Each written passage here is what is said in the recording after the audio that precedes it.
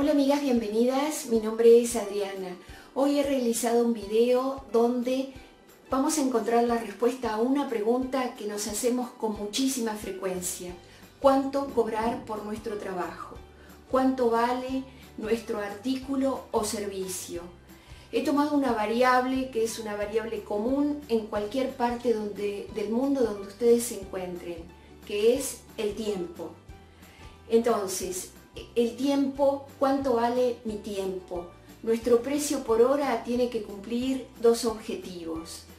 Reflejar nuestra experiencia y, por otro lado, cubrir nuestros gastos, nuestros costos.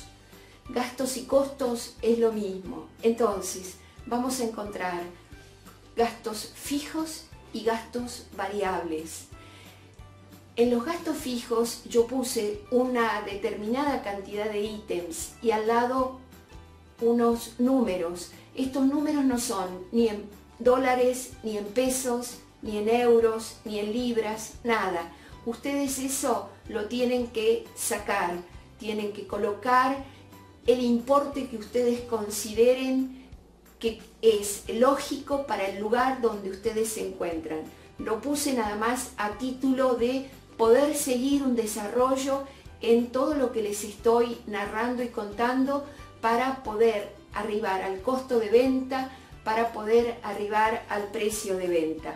Lo mismo eh, cuando nosotros luego de obtener los gastos fijos sacamos la hora de trabajo. La hora de trabajo yo tomé cinco días a la semana, ustedes pueden tomar seis, tomé ocho horas de trabajo, ustedes pueden tomar cuatro, cinco, lo que ustedes quieran. Entonces, donde ustedes ven un número, ahí lo cambian. Pero todo el desarrollo, todos los ítems son los mismos, estén en el lugar que estén donde se encuentren. Lo único que cambian son estos valores. Con este paso a paso creo que ustedes van a arribar a un precio lógico y justo. Entonces, las invito a poder mirar este tutorial y por favor eh, pónganlo en práctica porque realmente eh, está detallado de manera que ustedes puedan conocer cuál es el precio de su artículo. Hoy vamos a tratar un tema muy muy interesante que todos los que no trabajamos en relación de dependencia tenemos que conocer cómo calcular el precio de venta de nuestros artículos.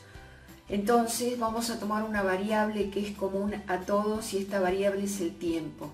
¿Cuánto vale nuestro tiempo? Nuestro, nuestro precio por hora, que tiene que cumplir varios objetivos. Por un lado, reflejar nuestro nivel de trabajo, nuestra experiencia como artista. Y por el otro lado, cubrir, saber cómo cubrir los gastos.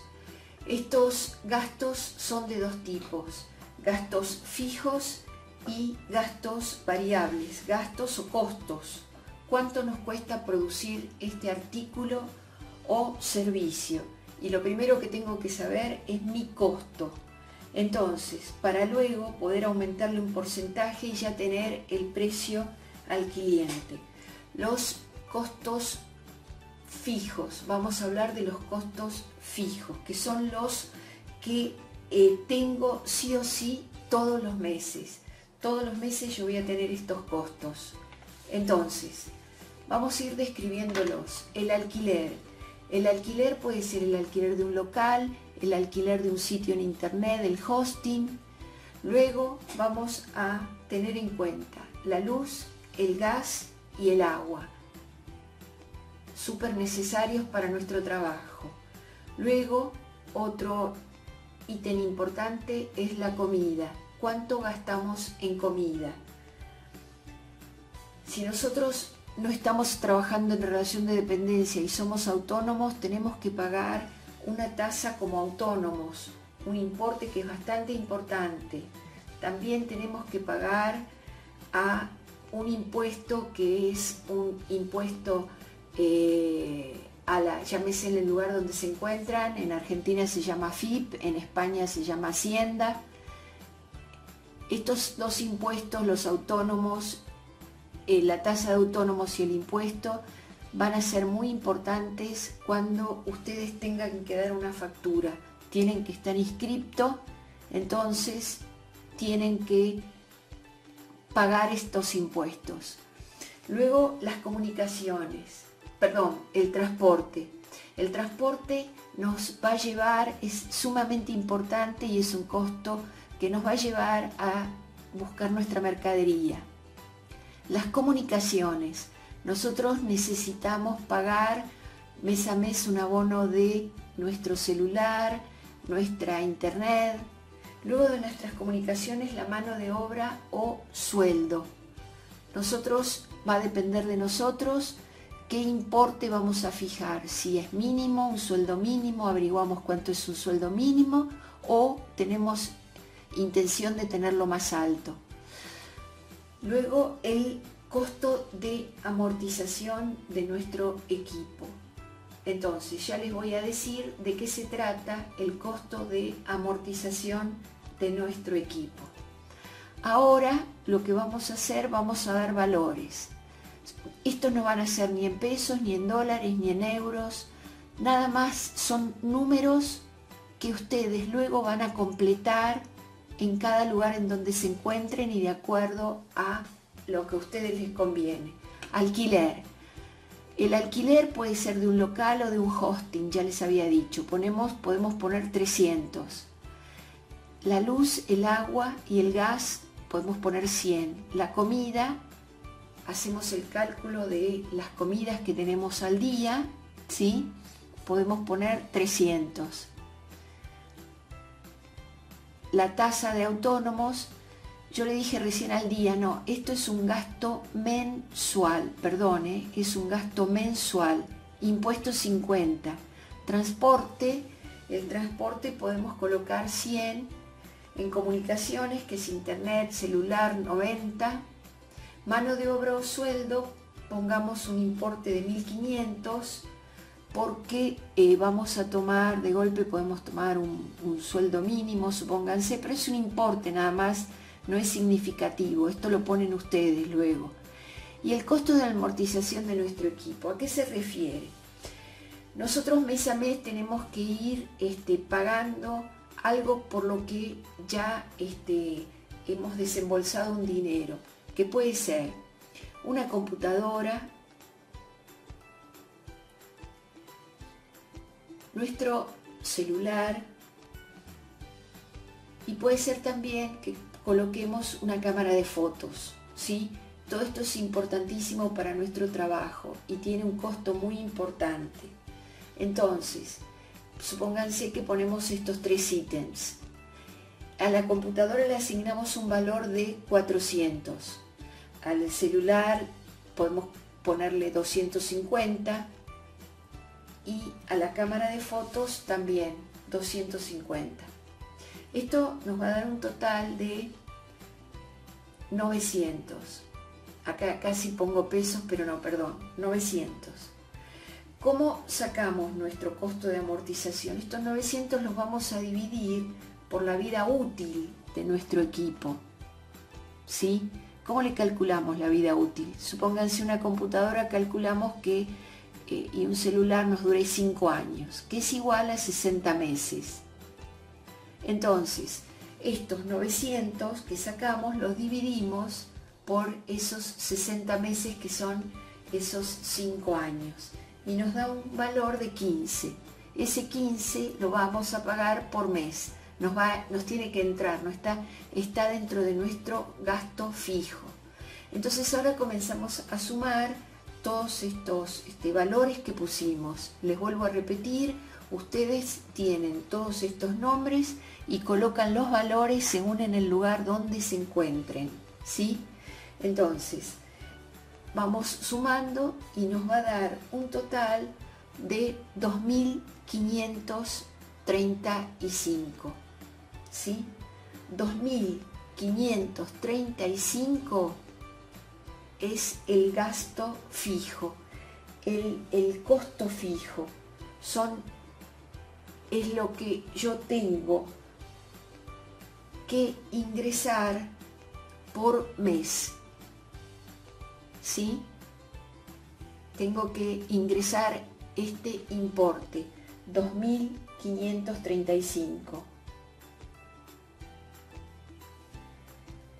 Entonces, ahora, nosotros ya sabemos cuánto tenemos que ingresar por mes. Vamos a ver ahora cuánto tenemos que ingresar por hora. Cuánto cuesta nuestra hora de trabajo. ¿Sí? ¿Cómo sacamos este cálculo? Nosotros, por supuesto, para sacar nuestra hora de trabajo, vamos a tomar el mes. Un mes. En un mes tenemos cuatro semanas, que estas cuatro semanas representan 20 días hábiles de trabajo. ¿Cuánto vamos a trabajar por día? vamos a trabajar 8 horas, 5 horas, pónganse 8 horas por día, en el horario que ustedes busquen. Entonces, si multiplicamos 8 horas por día por 20 días hábiles, nos va a dar 160 horas al mes de trabajo, de trabajo efectivo que vamos a tener que realizar. Entonces, ¿cómo sacamos nuestra este, nuestra hora de trabajo, el precio de nuestra hora de trabajo. Vamos a tomar el total de gastos fijos y lo vamos a dividir por el total de horas de trabajo. Eso nos va a dar el precio por hora. ¿Sí? Recuerden, recién sacamos el total de gastos fijos y recién sacamos el total de horas de trabajo de un mes eso nos va a dar el precio por hora.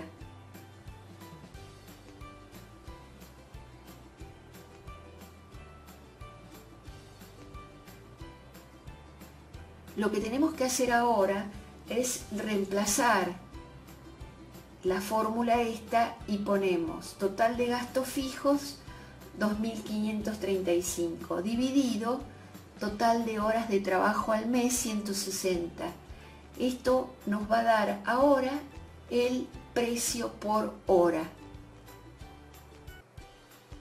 Nuestro precio por hora es de 15,84. ¿Sí? Cada hora de nuestro trabajo va a valer 15,84. Entonces, ya sacamos los gastos fijos. Ya sabemos la cantidad de horas al mes que trabajamos y ya tenemos nuestro precio por hora. Ahora vamos a sacar los gastos variables. Los gastos variables es para un trabajo específico, ¿ven? Para esta gargantilla. No va a ser, van a variar estos gastos, pues no va a ser lo mismo que para unos aros. Entonces, ¿qué voy a tener en cuenta con esta gargantilla? tengo que sacar la cantidad de perlas que utilicé. ¿Sí? Entonces, yo sé cuánto viene en cada tira y cuánto me sale una tira. ¿Sí? Entonces, voy a multiplicar la cantidad de perlas por lo que me salió. Entonces, acá ya me está dando el importe que yo gasté de perlas. Entonces, acá les estoy mostrando el hilo que une todas estas perlas. Es un hilo de nylon, ¿sí? Entonces, yo voy a utilizar parte del carretel. Tengo que saber, este, supónganse 2, 3 metros. El carretel trae 50 metros. Bueno, ahí hago una diferencia del total del carretel y le saco un estimativo, un porcentaje de lo que yo usé. Ahora vamos a calcular la cinta. Puedo haber utilizado, generalmente ustedes tienen el básico, cuánto sale un metro de cinta. Yo puedo haber utilizado acá un metro y medio, este, 70 centímetros. Entonces mido y calculo cuánto sale el metro y lo multiplico. Acá yo les dije que no vamos a poner ningún dinero, sino vamos a poner importes que son este, simbólicos. En este caso me dio 20, supónganse, o puse yo inventé 20. Entonces, ¿cómo nosotros vamos a sacar el, eh, el costo de venta? El costo de venta va a ser el costo de los materiales, lo que me salieron a mí los materiales, más el costo de la hora de trabajo. Ese es el costo de venta. Si reemplazamos, el costo de materiales recién fue 20. Entonces, el costo de la hora de trabajo, hay que ver en este caso si a mí me llevó una hora, si me llevó media hora, tengo que sacar un porcentaje, tengo que cronometrar mi trabajo y en base a la hora yo saco un porcentaje, un estimativo.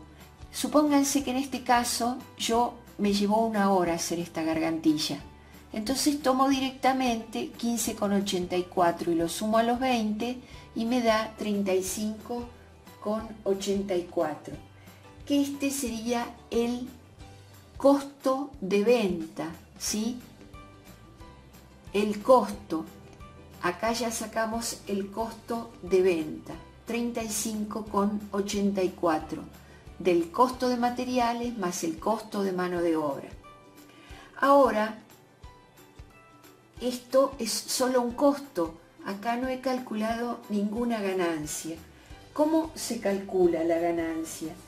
La ganancia es algo que ustedes, este, es eh, un poco que ustedes van a tener que ser eh, eh, equitativos, equilibrados. Generalmente se pone un 30% de ganancia, pero ustedes tienen que saber qué calidad están ofreciendo para poner ese 30%. Entonces vamos a, al precio ya de venta. El precio de venta va a ser el costo de venta sobre 1 menos el porcentaje que ustedes eligieron de ganancia o de utilidad, también se llama. Entonces, si lo reemplazan, van a poner qué es lo que yo quiero, ¿no? Eso no es tampoco un capricho, quiero un 30, entonces, ustedes ahí tienen que mostrar originalidad, creatividad, ¿sí? Tienen que destacarse su producto. Entonces, si reemplazamos en la fórmula, el costo de venta me había dado 35,84. 1 menos 30 es igual a 0.7% reemplazando 1 menos 30. Entonces, el precio de venta vamos a hacer 35 con 84 dividido, ¿ven? Dividido 0.7 igual y 51 con 20 va a ser mi precio final o precio de venta. Entonces, mi gargantilla, en este caso, está representada por 51,20 que le he agregado un 30% de ganancia. Entonces, así llegamos al precio final y para ello tuvimos que sacar el costo fijo, el costo variable, en el costo fijo la hora de trabajo, luego el costo de venta y el precio de venta. Por favor, reemplacen todos estos valores que yo les puse, pónganlo en práctica y de esta manera ya saben cómo colocar el precio a su mercadería. Gracias y las veo en el próximo paso a paso.